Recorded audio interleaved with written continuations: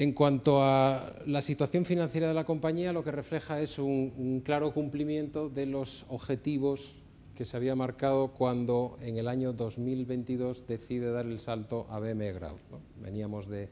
una empresa eh, bueno, pues que, tenía unos crecimientos sostenidos a lo largo de, los años, siempre constante, y que desde el año 1969, en un sector tan competitivo como es el tecnológico, fue capaz de consolidar esos resultados y mantener esos crecimientos sostenidos con mucha solvencia. Eh, en el año 2022, la, eh, eh, operación de concentración accionarial con la familia Suárez cogiendo las riendas del nuevo proyecto de futuro